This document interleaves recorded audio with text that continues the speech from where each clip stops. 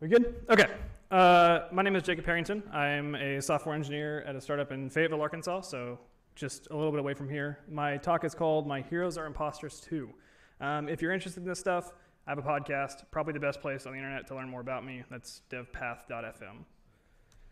So, um, I am a senior software engineer uh, at a company called Engine. We build an e commerce platform. I'm a core team member on the Solidus project, which, if you're in the Ruby world or the e commerce world, you may have heard of Spree. It's kind of the sister project for Spree. Um, and I run a podcast, like I said, and I'm pretty sure that I'm an imposter. Generally speaking, I feel like I am. Right now, I feel like I am. Um, so, a little bit about that. I, I want to get a show of hands. Who has heard of imposter syndrome? It's most of the tech industry. Cool.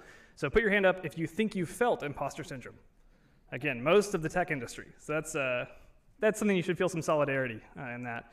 But about me and why I felt imposter syndrome in my life, I'm a self taught engineer. Uh, I've only been doing this for like two years. I have that cool word senior in front of my job title, uh, and I only have two years of experience. That's a ton of fuel for imposter syndrome. I don't feel qualified for that. Um, and the first year that I did software engineering was one of the most terrible years of my life. Uh, I got hired onto a really, really high performing, cool team, uh, and I was not on par with them. And I spent a year at that job, which that team experienced extreme turnover. It went from uh, somewhere around like 15 people to somewhere around like six people uh, in the year that I was there. Uh, and I really, I really didn't ever mesh with that team. I would go to work, I would have panic attacks in the parking lot. Uh, I was afraid I would be fired literally every day. I had this sensation in my head that I didn't belong there and that I was going to be ousted and revealed to not be capable or competent uh, enough to do my job. Basically, every day I felt that. So before I go into it any further, I want to show you guys a definition of imposter syndrome, and there's some important things from this. So this is from Wikipedia. It says imposter syndrome is a psychological pattern in which an individual doubts their accomplishments and has a persistent internalized fear of being exposed as a fraud. So really important things are in red. Uh, it's a pattern and it's a persistent internalized fear. It's something you feel a lot, and it's something that's internalized. Like you are convinced of this, that you are going to be exposed as a fraud. The public exposure, people in mass are going to find out that you are lying. Um, I felt this that whole first year. I would say that I went to work every day and thought I was fooling people. Um, I really did. And that was such a harrowing experience for me. And this is an eight minute talk, so I won't talk about why I didn't mesh with that team. There's a lot of reasons, and about half of them are my fault. Uh, it was, it was so traumatic for me that it led me to actually seek out people I would call heroes in my life, uh, engineers that are very successful, and ask them this question um, this is this is kind of what I heard. So this is Avdi Grimm. Avdi, if you're in the Ruby world, you know who he is. Um, he's one of the most prolific Ruby developers to ever talk on the internet. He's a keynote speaker all the time and an author. And this is what he said when I asked him.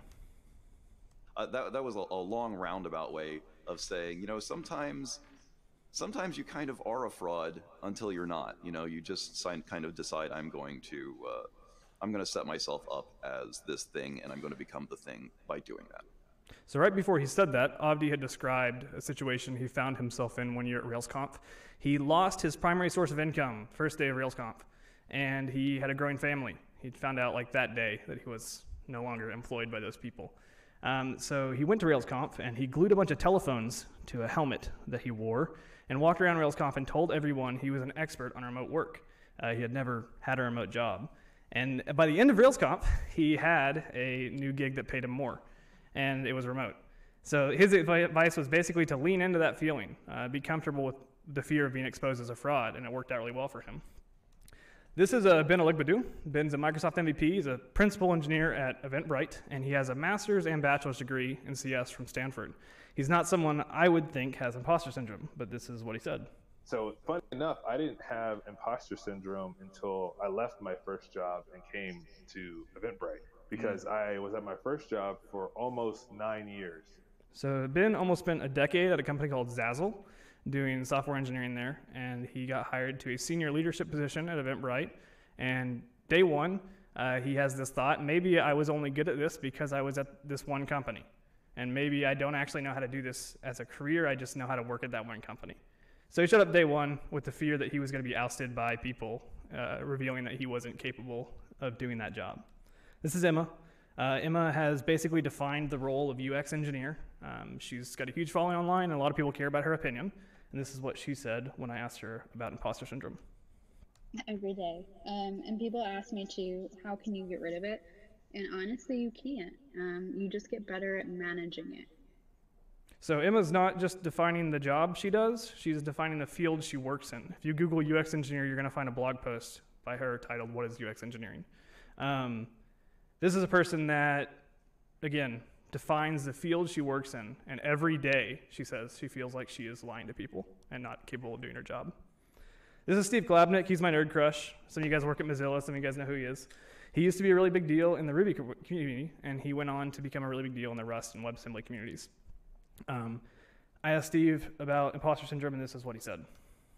Yeah, it definitely is something that um, I have struggled with at various times, and a lot of that has to do with um, basically like crappy people online. Like I don't feel that way very often about myself, but uh, I spend a lot of time on the internet, and there's a lot of people who say a lot of garbage things, and so um, especially when I came to Rust. It's like a lower level programming language, and Ruby is a very high level programming language. And so there were a lot of people who were like, oh, if a Ruby person is on the Rust core team, the Rust language can't be low level because, you know, like Ruby people are stupid. So this is a guy who literally wrote, like in the most literal way possible, wrote the book on Rust. And he had this fear that other people on the internet were going to oust him as not being intelligent enough to be on the Rust core team. This is Kent. Uh, if you are in the React world, you've probably encountered some of Kent's content. Uh, he has a lot of impact on the way that framework goes because he has a large following. He also produces a huge amount of side projects. And this is what he said. And I felt like they're going to find me out and they're going to fire me um, because I'm not doing anything useful for this company. So Kent was describing his first job as a software engineer. Uh, basically, just felt like he wasn't productive enough, and as a result, people were going to realize he wasn't capable of being a software engineer and get rid of him. These people are highly paid consultants, open source maintainers, keynote speakers, authors, influencers, and there's also a Docker captain and a Ruby hero up there.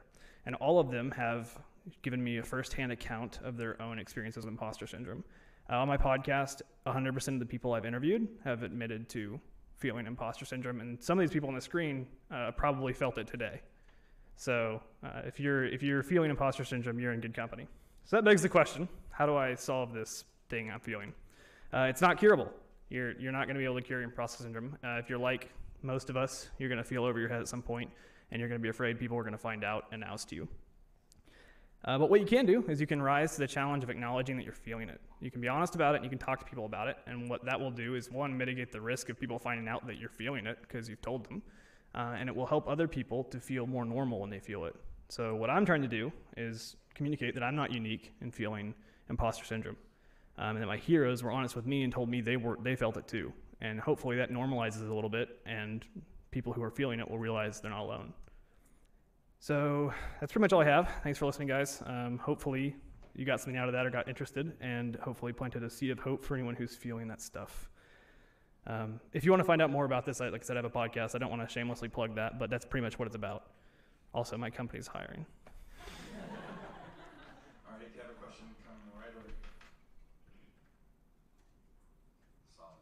Cool. Oh. You can ask me anything. Okay, here it comes. Okay.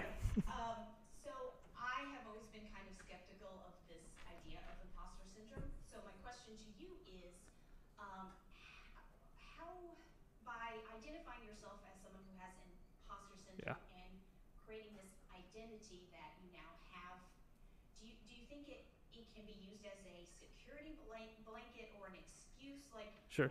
can you um, maybe describe more about your definition of imposter Yeah. syndrome rather than people doggy backing on this fact that, you know, you're in a new world, it's going to be scary, but people have confidence in you to do your job.